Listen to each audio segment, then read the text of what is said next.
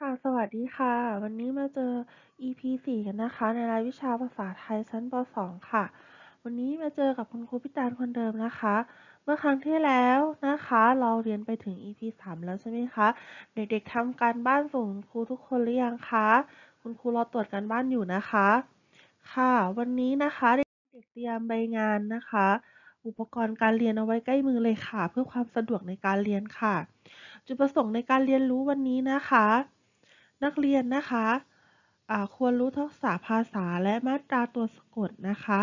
และเขียนคำตามมาตราตัวสะกดได้ถูกต้องค่ะ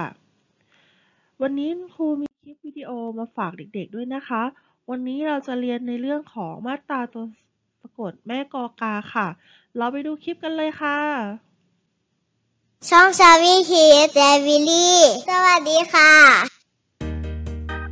สวัสดีค่ะเด็กๆ วันนี้เราจะมาเรียนรู้เรื่อง มาตรากอกากันนะคะ มาตรากอกา คือ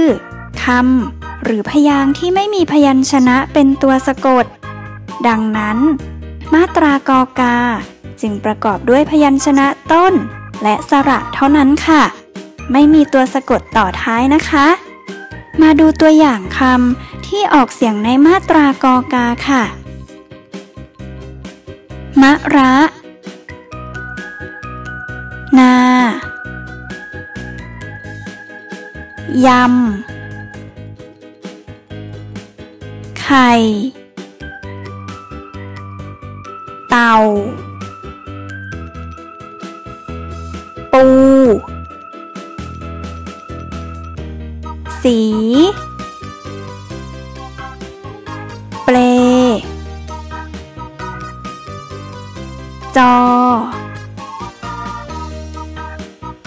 แห มาอ่านบทกลอนแม่กอกาด้วยกันนะคะ แม่ไก่อยู่ในตะกร้า ไข่ไข่มาสี่ห้าใบ อีแม่กา ก็มาไล่ อีแม่ไก่ ไล่ตีกา หมาใหญ่ ก็ไล่เฮา หมูในเล้า แลดูหมา ปูสแหมแลปูนา กะปูม้า ปูทะเล เต่านา แลเต่าดำ อยู่ในน้ำ กะจระเข้ปลาทู อยู่ทะเล ปลาขี้เร ไม่สู้ดี ขอขอบคุณข้อมูลจากหนังสือ ประถมกอกา ฉบับหอสมุดแห่งชาติค่ะ ค่ะเมื่อกี้เราได้ดูไปแล้วใช่ไหมคะ คลิปวิดีโอในแม่หน้าตากอกานะคะ แล้ววันนี้คุณครูมีเมงานที่หนึ่งนะคะ มาฝากนักเรียนค่ะจ้าพร้อมกันหรือยังคะ ลงมือทำเมงานที่หนึ่งกันได้เลยค่ะค่ะ เมื่อกี้เราได้ดูคลิปวิดีโอมาตาแม่กอกาไปแล้วใช่ไหมคะ วันนี้นะคะยังมีอีกหนึ่งมาตราค่ะ ก็คือมาตราแม่โกงนั่นเอง ไปดูคลิปวิดีโอกันเลยค่ะ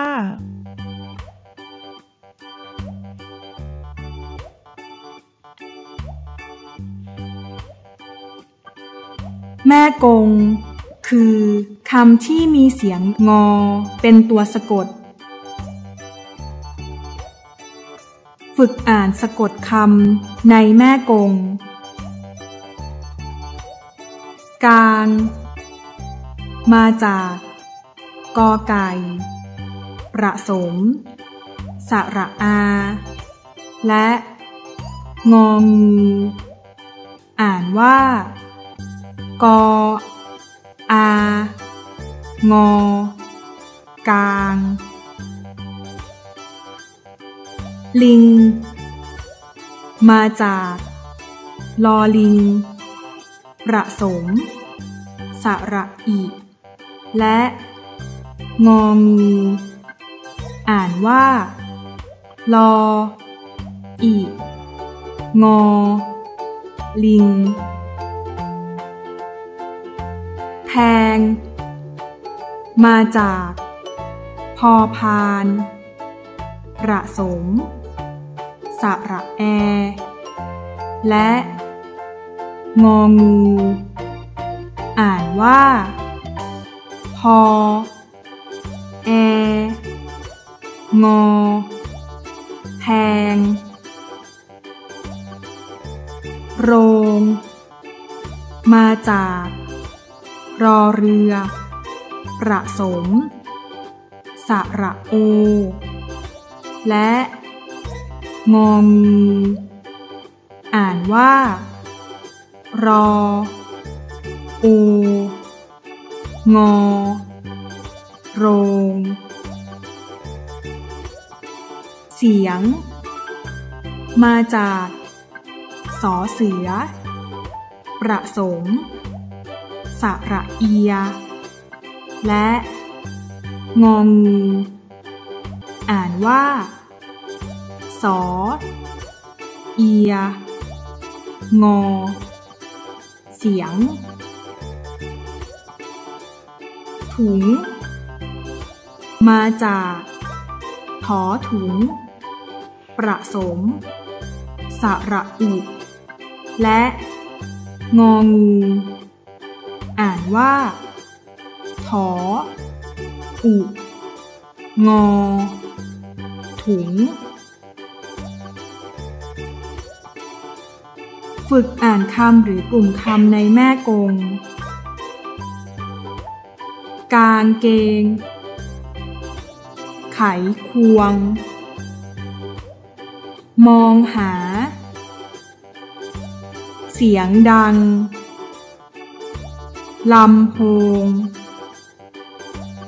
ในเมือง กองฟาง ระคัง โกงกลาง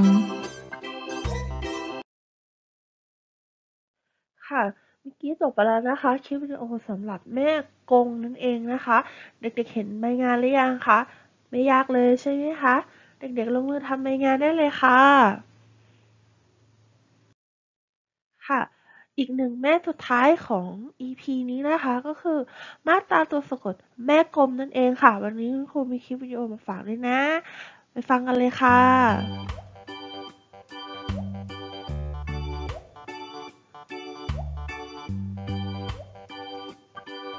แม่กลม คือคำที่มีเสียงมอ เป็นตัวสะกด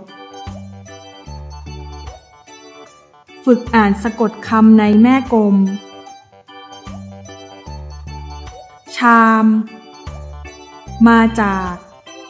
ชอช้าง ประสม สระอา และ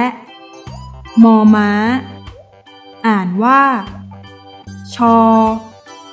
อา มอ ชาม ขิม มาจาก ขอไข่ ประสม สระอิและ มอม้า อ่านว่า ขออิมอ ขิม เทียม มาจาก ทอทหาร ประสม สระเอีย และ มอม้า อ่านว่า ทอ เอีย มอ ทียม หอม มาจาก หอหีบประสม สระอ และ มอม้า อ่านว่า หอ อ มอ หอม โสม มาจากสอเสือ ประสม สระโอ และมอม้า อ่านว่า สอ โอ มอ โสม ยืม มาจาก ยอยักษ์ ประสม ระอือ และมอม้า อ่านว่า ยอ อือ มอ ยืม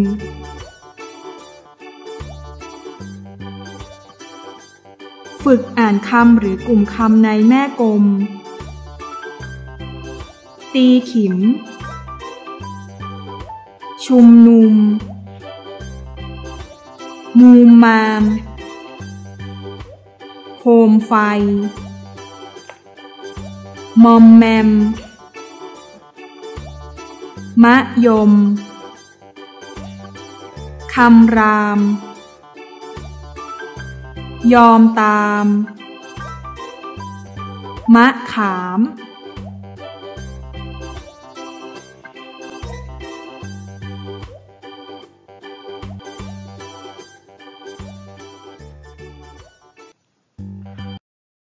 ค่ะ จบลงไปแล้วนะคะ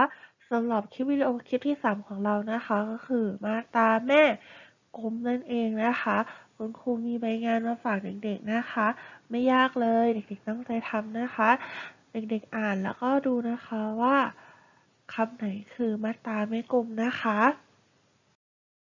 แล้ววันนี้นะคะก็จบแล้วนะคะสำหรับ EP นี้นะคะ เด็กๆตั้งใจทำแล้วก็ส่งกันบ้านคุณครูด้วยนะคะ แล้วมาเจอกันใน EP ต่อไปนะคะสำหรับวันนี้ สวัสดีค่ะ